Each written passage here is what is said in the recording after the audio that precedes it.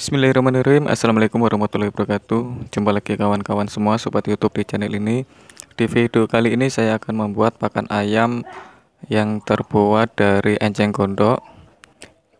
Ini enceng gondok saya dari kolam ikan ya kawan-kawan. Jadi saya manfaatkan untuk pakan ayam. Nah di sini tidak perlu banyak tambahan Dan ini cukup ekonomis menurut saya jadi yang di sini yang kita butuhkan adalah enceng godok, setelah itu dipotong-potong terus direbus, kemudian ditambah dengan air cucian beras dan gula. Gula boleh gula merah ataupun gula putih dan kemudian ditambah dengan dedak. Dedak padi ya kawan-kawan. Nah, di sini cucian beras ini eh, saya campur dengan limbah dapur yang berupa sisa-sisa makanan. Eh, menurut saya ini sangat komplit nutrisinya karena di situ ada berbagai jenis sisa makanan seperti uh, mungkin ikan asin ataupun yang lain-lain. Ini cuman sedikit saja. Jadi ya seadanya ini ya kawan-kawan. Oke langsung saja kita simak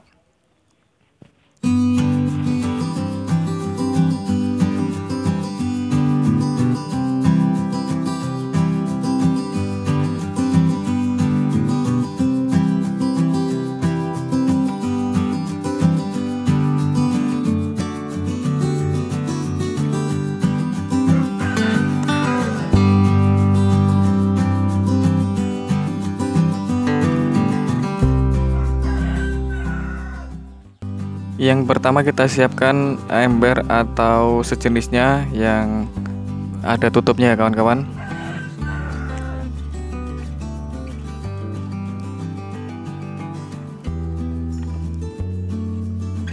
Kemudian ini air cucian beras bersama dengan sisa limbah dapur ya.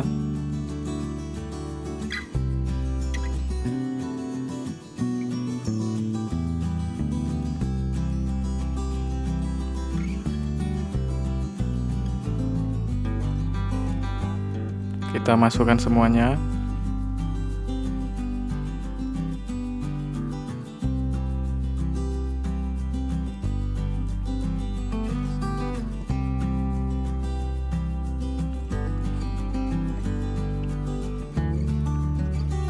Kemudian ini ada gula merah. Kawan-kawan bisa mencobanya dengan gula lain gula putih bisa ataupun tetes tebu nah di sini kita masukkan dua biji dulu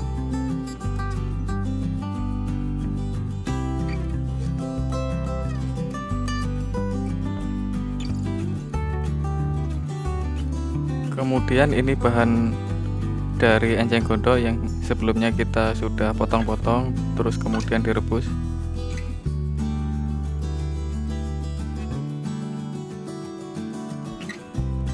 Ini enceng gondok segarnya ya ini jenisnya kawan-kawan. Ini cuma contoh aja ini enceng gondoknya kemudian kita masukkan semuanya.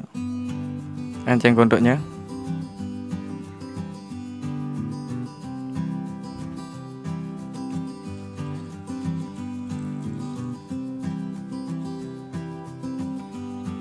setelah dimasukkan semua kita aduk rata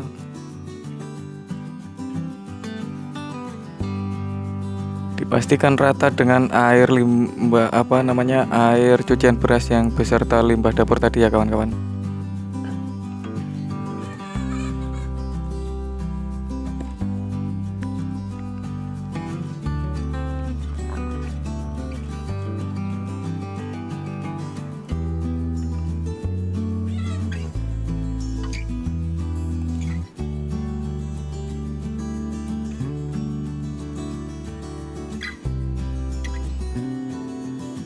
kemudian kita tambahkan lagi gula sisanya tadi.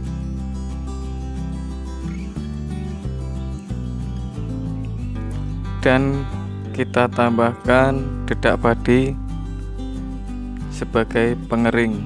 Jadi nanti ini tidak terlalu basah ya kawan-kawan. Jadi ini agak lumayan kering tapi yang enggak kering banget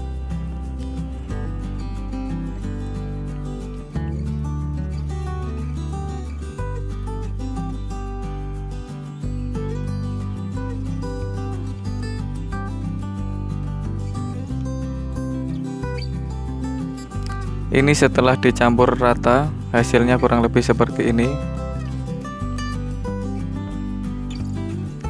Dan kemudian nanti ditutup hingga rapat ya kawan-kawan. Agar proses fermentasinya bisa berhasil. Dan nanti kita tunggu sekitar dua hari ini kalau fermentasinya jadi nanti hasilnya itu aromanya seperti bau tape kawan-kawan.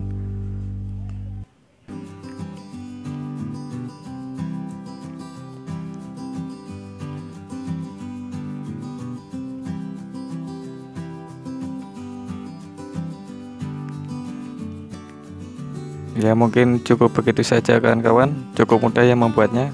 Saya akhiri. Assalamualaikum warahmatullahi wabarakatuh